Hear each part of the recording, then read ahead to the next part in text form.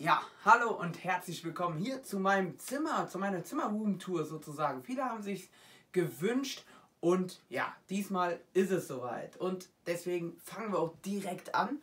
Und zwar mit dem Hintergrund, den ihr kennt. Wegen dem Analysenstream allein deswegen. Und ja, wie gesagt, was kann man hier zu diesen Sachen sagen? Einmal hier mein äh, erstes Kölner Trikot, was ich hier ähm, ja, bekommen habe, als ich FC-Fan wurde von meinem Vater.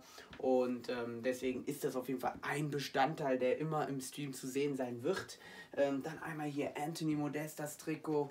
Einmal hier Timo Horn, das habe ich im Übrigen zum Geburtstag geschenkt bekommen, zum 15. Und das hier ist ein Trikot von meiner Schwester. Schöne Grüße dahin. Und ähm, ja, das ist äh, ja, ein Trikot von meiner Schwester. So. Wir machen weiter mit dem Schrank mit einer Vitrine sozusagen. Hier haben wir einmal dann, ähm, hier sieht man den Otto Walkes mit auch hier Luke Mockridge. Ne, hier sind so verschiedene Sachen, sag ich mal, die ich äh, sammle. Dann hier meine Pokale, die ich durch Tennis äh, oder auch durch Fußball, hier ist auch ein Fußballpokal mit dabei. Ähm, hier der erste FC Köln, auch da vertreten. Hier auch zum Beispiel Pierre Litbarski, der frühere Kölner. Und ähm, hier unten ist dann sozusagen, hier ist Mittenwald. Ich war mit meinen Großeltern äh, immer in den Bergen und ähm, hier sozusagen Nordsee, da war ich mit meinen Eltern immer. Und genau, so, wir machen direkt weiter mit dem Hennes. Da tun wir mal gerade die Weihnachtsmütze runter. Den habe ich genau da geholt, wo ich sozusagen im Urlaub war. Im, äh, im Norden war der. Und ähm, da habe ich mir dann im Training, hier steht es auch, die Session 17 und 18 war es. Ähm, da, ja, da habe ich sozusagen mir die Unterschriften drauf machen lassen und seitdem ist er auch Bestandteil in meinem Zimmer. Dann tun wir die Weihnachtsmütze mal wieder drauf, damit er ein bisschen weihnachtlich geschmückt ist sozusagen. Und wir machen direkt weiter. Hier ist zum Beispiel ein Bild, was euch schon öfters mal aufgefallen ist. Ähm, ja, das habe ich selber gemacht. Im, auf dem Lehrgang war das. Und ähm, ja, so viel dazu. Dann hier das Stadion, das werdet ihr auch im Stream öfters mal gesehen haben. Das ist immer dann an. Klar, jetzt bei dem Vorstellungseffekt ähm, ist es natürlich auch an, aber sonst ist es immer nur an, wenn ich auch live kommentiere und die Spieler live oder ne, zu Hause sind, sozusagen. Ja, hier sind so zwei Urkunden vom ersten FC Köln. Ähm, was kann man dazu sagen? Gut, da habe ich mal den Schneemann gebaut, also so einen Schneehennis, den habe ich ja euch auch schon mal gezeigt. Und äh, da habe ich dann eine Unterschrift von Lukas Podolski und von Michael Rensing bekommen. Das waren früher meine Lieblingsspieler beim ersten FC Köln. Die Lieblingsspieler sind mittlerweile jetzt hier. Die, also ich, ihr seht schon, ich habe einige ähm, ja, Lieblingsspieler mittlerweile. Ähm, klar, manche sind schon gar nicht mehr beim FC, aber da dieses Jahr gar keine Saisoneröffnung war, konnte ich halt, ähm, ja, konnte ich halt keine neuen Autogrammkarten holen. Ja, hier sieht man direkt, erstmal hier. Das ist meine Ordensammlung ähm, von 2000, äh, von 99 bis und dann fängt es wieder an von 2014. Hier der Orden einmal. Und ähm, dann geht es runter bis 2021. Ja, hier dieses Logo habe ich selber gemacht.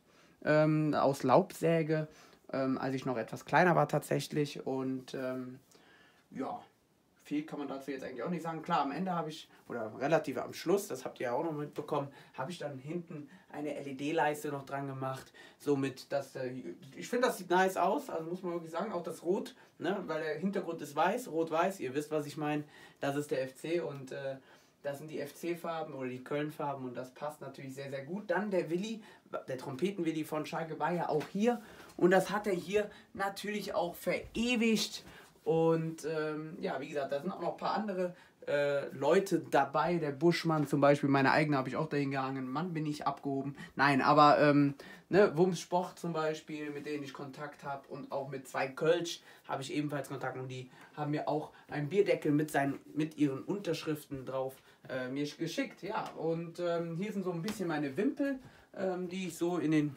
ähm, ja, Jahren so gesammelt habe sozusagen. Und ähm, genau, da oben ist noch ein Schalke-Wimpel, auch mit Willis Unterschrift sozusagen drauf. Hier ist noch ein Stern, äh, nee, nicht ein Sternfänger, sondern wie nennt man die nochmal? Ähm, weiß ich nicht. Ist egal.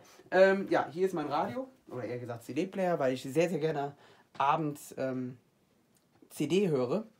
Ähm, ja, habe ich mir so angewohnt und ähm, so ist es eben geblieben. Hier unten könnt ihr sehen am Bett, da ist übrigens mein Hund, hallo, ja, der ist müde, deswegen schläft er gerade.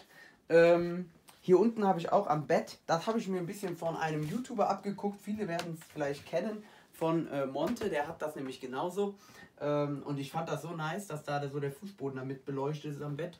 Ähm, ja, habe ich das dann einfach mal nachgemacht. Schöne Grüße, falls er das sehen würde, wird er eh nicht, aber schöne Grüße erstmal. Ja, kommen wir zu meinem Gaming-Setup. Da, wo ich meistens immer sitze, den Sessel kennt ihr ja auch.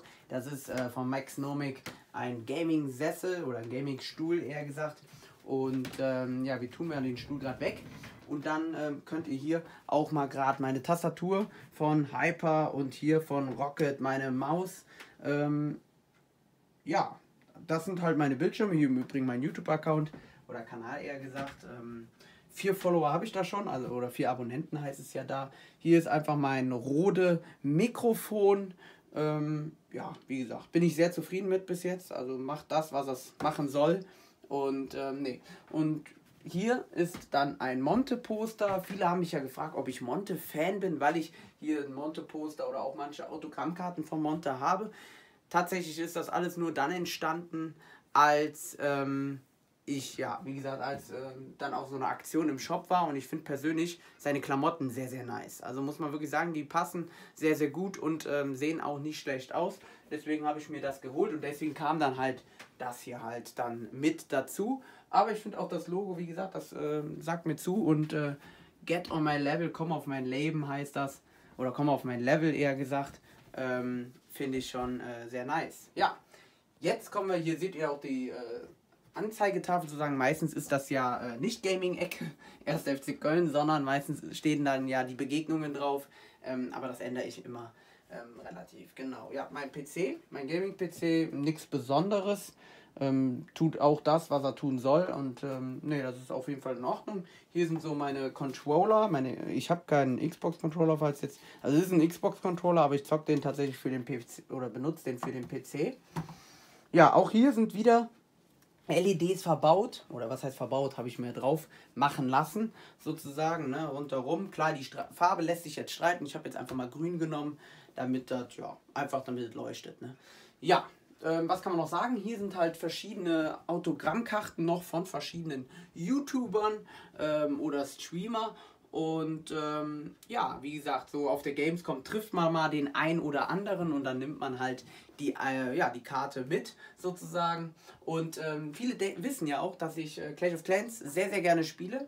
Und ähm, da habe ich auch so ein paar Sammelstücke, sozusagen Sammelfiguren von Clash of Clans, die die Clash of Clans spielen, werden es sehr wahrscheinlich ähm, ja, wissen, was es ist. Und ich muss ehrlich sagen, ich zeige euch jetzt was, worauf ich sehr, sehr stolz bin dass ich es äh, mittlerweile mir gegönnt habe, sozusagen. Wie sagt Monte so schön immer, G steht für gönnen. Und äh, das habe ich dann auch mal. Und zwar von Harry Potter. Ich bin ein riesen Harry Potter-Fan. Hier einmal eine komplette, ja, sozusagen eine komplette, ein komplettes Regal nur mit Harry Potter Artikeln von Elbenwald. Ähm, ja, mit Heatwig, Dobby, Basilisk, äh, der ungarische Hornschwanz, äh, Seitenschnabel, Dementor, Phönix, Nagini, die äh, Schlange von Lord Voldemort. Und äh, ja, so viele verschiedene Charaktere, die die Harry Potter kennen, werden wissen, was das für Charaktere sind. Hier einmal der Hogwarts Express, mit dem die Schüler nach Hogwarts gekommen sind. Den kann man auch hier bewegen. Und äh, ja, wie gesagt, das ist so ein Plateau ist das halt. Und ähm, hier dann einmal der, ja, ich nehme den gerade mal runter, also der ist relativ schwer. Der Feuer, also ist nicht der Feuerkelch, sondern der Trimagische Pokal von Harry Potter Teil 4 sozusagen. Und ähm, ja, bin ich schon sehr, sehr stolz drauf, weil früher, als ich immer klein war, wollte ich immer diesen Pokal haben. Und äh, ja, seit neuestem habe ich mir den dann ja, gekauft. Hier einmal auch Zauberstäbe. Hier ist einmal von Harry Potter, also das ist original, der originale Harry Potter Zauberstab sozusagen, wie er auch im Film benutzt wurde, auch von äh, Ollivander, die Edition. Also so in der Kiste lag der auch dann drin. Hier sieht man einmal schön, kann man sehen, das ist der originale Zauberstab von Harry Potter. Und damit ich euch das auch gerade noch zeigen kann, ähm, so wieder zu. So, gerade vorsichtig machen, damit nichts runterfällt oder kaputt geht. Das wäre doof. Und zwar einmal hier falls es euch noch interessiert, hier ist nochmal auch der gleiche, nicht der gleiche Zauberstab, aber die gleiche Kollektion auch von Ollivander, auch original ähm, von Harry Potter. Hier sieht man auch mal das Echtheitszertifikat. Und hier ist natürlich der Dumbledore Zauberstab, der Elderstab von Albus Brian Dumbledore. Ja, wie gesagt, bin ich sehr, sehr stolz drauf, auf diese Ecke hier. Ähm, man kann gerade auch noch mal ein bisschen näher rangehen, damit man einfach noch mal so die verschiedenen Sachen sieht. Auch dahinter habe ich natürlich LEDs verbaut, sodass man auch noch mal gerade jetzt, wenn man ihr näher ran seid, ähm, ja, noch mal gucken könnt, ja, was auch im Hintergrund ist. Also auch im Hintergrund, das finde ich mega cool, dass man auch im Hintergrund so die verschiedenen Szenen, wo die halt auch waren, hier der Hornschwanz zum Beispiel, ähm, bei, äh, ja, in der Nähe von Hogwarts, ne? dann hier das äh, Basilisk bei Salazar Slytherins Kopf und äh, Dobby, da wo er auch frei wurde, sozusagen zum freien Elf. Und ja, wie gesagt, das sind Kleinigkeiten, aber da äh, ergötze ich mich jedes Mal dran sozusagen. Und hier oben kann man auch nochmal sehen, hier, das habe ich auch alles selbst gemacht als Maler. Ähm, das ist sozusagen eine Spachteltechnik und ähm, da habe ich dann sozusagen eine, ja, ein FC-Logo gepresst sozusagen als auf lösemittelhaltiger Basis und dann habe ich mir bei den oder beim, bei der Saisoneröffnung wieder äh, Unterschriften machen lassen. Das gleiche ist auch hier. Da habe ich auch von der Saison 1920 auch jeweils ähm, ja, Unterschriften aufs Training geben lassen. Ja, ansonsten kann man nicht mehr viel sagen. Hier ist halt noch der Weihnachtsbaum. Ne, hier sind so die zwei Hennisse, die ich auch ab jetzt immer anhabe im Spiel. Und ähm, genau, ja, wie gesagt, was kann man noch sagen? Hier sind halt noch Orden von meiner, von meiner KG sozusagen, also was heißt von meiner KG, aber aus dem Ort, wo ich komme, halt sind so meine, die Orden, die ich so bekommen habe sozusagen. Hier die Fahne sind von äh, Klüngelköpp unterschrieben worden, sowie hier die Fahne von Brinks und hier die Fahne von Casala. Ja, sonst, was kann man großartig noch sagen? Bis auf, dass der Schal jetzt gerade runtergekommen ist. Ähm, das musste ich sagen. Ähm, ja, bedanke ich mich ganz herzlich, dass ihr eingeschaltet habt. Und ich würde am besten, am liebsten das Video mit hier diesem Highlight beenden, weil wie gesagt, das ist wirklich mein liebst. Äh, ich finde dieses Regal einfach total cool. Und äh, setzt auch gerne davor und guck mir einfach die Sachen an. Klingt hobbylos, mir macht es aber Spaß. So, alles klar. Schreibt gerne eure Meinung zu meinem Zimmer in die Kommentare. Findet ihr mein Zimmer cool? Sagt ihr, äh, das fühle ich überhaupt nicht oder das würde ich anders machen? Ja, schreibt es wie gesagt gerne in die Kommentare und äh, lasst gerne Feedback da. Lasst auch gerne ein Like und falls ihr mir noch nicht folgt, auch ein Follower da. Bis dahin, bleibt sportlich. Ciao.